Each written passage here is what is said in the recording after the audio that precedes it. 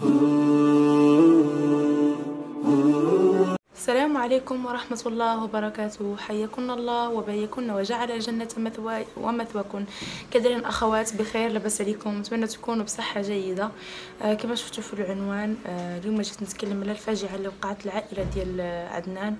آه الله يصبرهم على الفراق ديالو وتغمضه الله روحه بالرحمة وأسكنه فسيح جناته.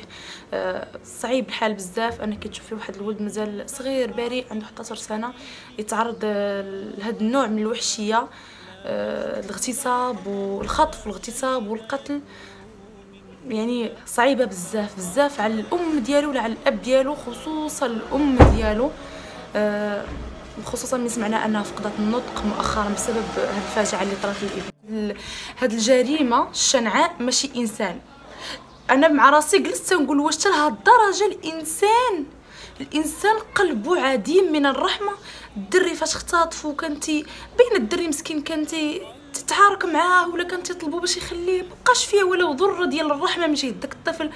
وباش زادها قتلو. وكان عنده القلب أنه يقتلوه ويقطعوه ويدفنوه كان لا شيء يحدث. يعني غادي يغطي على الجريمة ديالو هكا. أنه مازال غادي يكمل حياته عادي ويكمل حياته عادي ما كاين حتى شي حاجة. وكاين عاوتاني ضحية أخرين يكمل بحال هكاك ما حد المرة الأولى ما ما على باله هو ما غيتشد ما والو صافي يدفن الجثة وكل شيء. يعني على باله كاينة ضحية أخرى وكاينه عاوتاني اغتصاب آخر اختطاف آخر.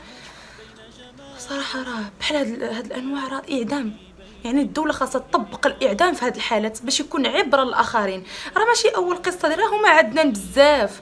راه قبل عندنا كانوا قصص بزاف ديال ديك الطفلة الصغيرة اللي ما بقاتش تعقل على المدينة ديالها كانت اختطفات ولقاوها مغتصبة وميتة في واحد ال... في واحد الجردة.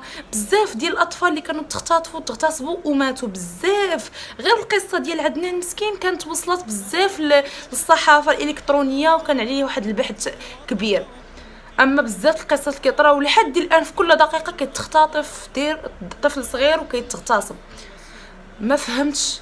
يعني انت القانون ديال البلاد ديالنا شنو الحل ديال هادشي؟ يعني ضروري خاص يديروا واحد المسطرة قانونية على الاختطاف والاغتصاب والقتل ويكون فيها الإعدام باش الإنسان يخاف. العائلة ديالو ما غادي ترتاح حتى وكان هذا الشخص كيما توفى الإبن ديالو من اللي بريء خاص هذا يتوفى وبأشنع الطرق. خاصو القصاص.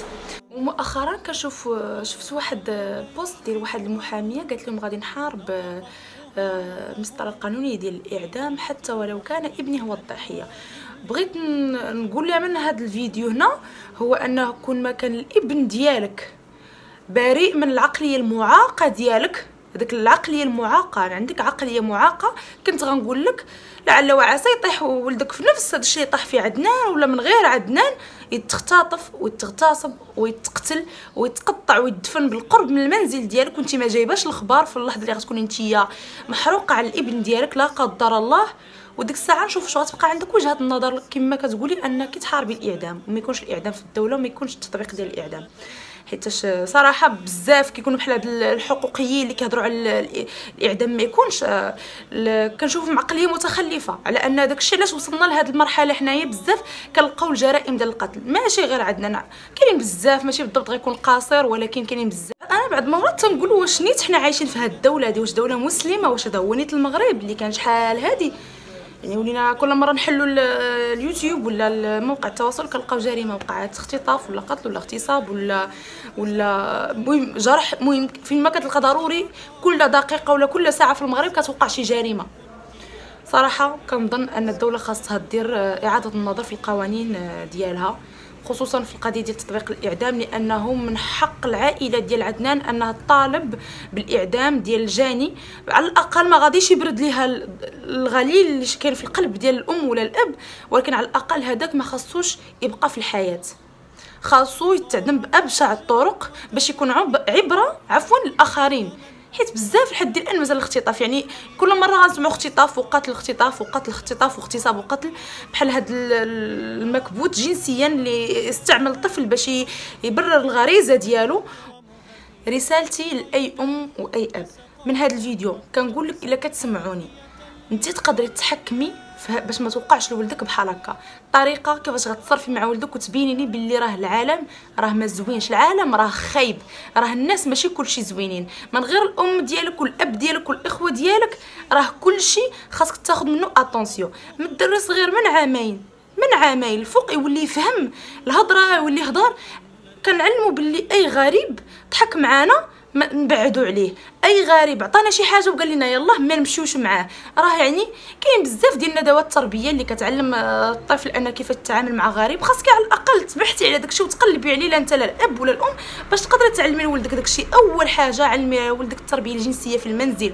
كيفاش يتصرف إلى شي واحد جاي يتحرش به كيفاش يتصرف إلى شي واحد حاول ياديه ولا كيخلعو يبعد عليه؟ أه وكنطلب من الله سبحانه وتعالى ان هذه المسطره ديال الإعدام تطبق في المغرب ويكون عندها تنفيذ. أه وباش على الأقل أي عائلة فقدت آه، عزيز ديالها يا إما طفل يا إما شخص قتل جريمه قتل شي حاجة يتشفى أه ياخذوا القصص ديالهم ويتشفى ولو شوية من الغالي اللي كيكون في القلب ديالهم لأن صعيب أنك تشوفي ولدك ولا بنتك ولا خوك طرات لي واحد جريمة القتل وهذاك الجاني دخل الحبس أه دخل الحبس ومن بعد أه عطاوه المؤبد من بعد شوية كيتنقص ليه وعايش بخير وأكل شارب ومزيان وما ناقصه حتى شي حاجة وانتي تحرقتي ولدتي وكبرتي. وسهرتي الليالي ومرضتي على واحد الطفل ولا واحد الطفلة في الآخر كيجي واحد ياخذها لك في رمشه عين في رمشه عين ياخذها لك ويقتلها لك وفي الآخر ما كتلقايش القانون والعدالة في الصف ديالك من غير انك تشدو مؤبد وتحطو في الحبس ياكل ويشرب تما وها هو طرونكيل حتى كيجيه العفو الملكي وكيخرج راه تاب وبقى فيه الحال وندم. بصراحة صعيبه بزاف. ما يعني الكلمات كاع ما غادي يوصفوا كاع داكشي اللي كتحس به في القلب ديالك من جهة الطفل هذا مسكين باش تسمع الطريقة باش مات بأبشع الطرق. الله ياخذ في الحق في اللي كان سباب في هاد المجرمين. يا ربي يا إما واحد يا إما جوج يا إما ثلاثة. على الله وعسى يا ربي يمسكوا المجرمين كامل اللي كانوا السبب في هاد في هاد في هاد الفاجعة اللي وقعت لها الطفل هذا وأي طفل آخر وأي عائلة تم اختطاف الإبن ديالها ولا مختفي ربي إن شاء الله يلقاه بخير وعلى خير. نصيحة لأولياء الأمور ولا الام الأم ولا الأب حاولوا توصلوا الفكرة لولادكم الصغار أن أي شخص غريب هضر معكم يبعدوا عليه. حاولوا تعرفوا كيفاش تواصلوا مع ولادكم وتبينوا لهم باللي ماشي أي واحد كنضحكوا معاه بالزنقه راه قريب لينا ولا كيبغي لينا الخير. يعني فيقوهم شوية من عامين ونص كيكون الدري صافي كيستكشف وعارف كيفاش كيهضر وعارف الحاجة الخايبة وعارف الحاجة اللي زوينة. حاولوا تعلموا ولادكم حتى كما كتشوفوا طفل عدنان كان غ... كما كيبان في الفيديو غادي مع داك الشخص داك المجرم بواحد الطريقة الدري بريء تيضحك عادي. يعني غادي معاه على راحته. ودخل معاه بينه والله أعلم على راحته. يعني الطفل ما عارفش. يعني الطفل ما عارفش. هذا الشيء خاصو يفيقكم. تنتوما على الأقل الدولة ما دايراش شي قانون اللي غيقدر يخلع بنادم باش ما يبقاش يدير بحال هذه الجريمة. على الأقل نتوما خذوا الاحتياطات ديالكم. على الأقل غتاخذي 80% ديال الاحتياطات. انك بنتك بنتك ولا ولدك تعلميه وتبيني ليه الحوايج اللي كاينين خايبين الحوايج اللي كاينين زوينين. وتعلميه باللي شكون الناس اللي قرابين ليه وعنده الحق أنهم يقيسوا ولا يضحكوا معاه ولا يمشيو مع يمشي معاهم. والناس اللي ما عندهمش الحق أنه يمشي معاهم وياخذ الإذن في أي حاجة. يعني نتوما مسؤولين الوالدين تيكونوا مسؤولين نسبة 80% على الأطفال ديالهم. انت أول حاجة كتكوني مسؤولة على الإبن ديالك فين خرج فين مشى مع من مشى آه شكون هذا اللي صحابو اللي كيجلس معاهم شكون يبان لك كيهضر مع شي واحد غريب غتوصي أنه واخا كيف ما بغى يكون هذا الغريب واخا كيبان لك انت الله يعمرها دار. تبعدي عليه ولدك. الولد ديالك خاصك ولا البنت ديالك خاصك تبيني لها باللي خاصها تعرف الأم ديالها والأب ديالها والإخوة ديالها. صافي. لأن هاد الوقت هادي راه ولات كتخلع علينا نخافوا على الأولاد ديالنا. لعل وعسى.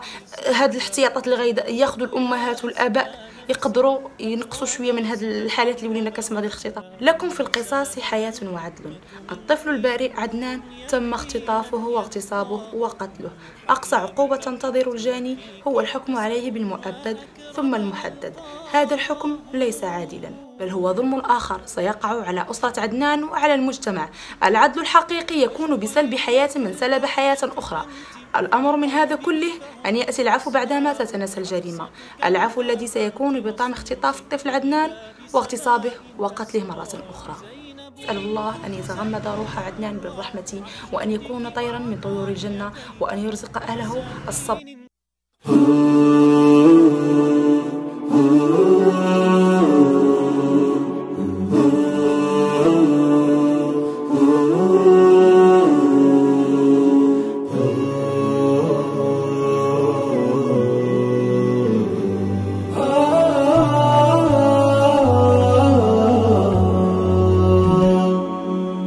أكرم بل أعظم بحديث يروى عنهن.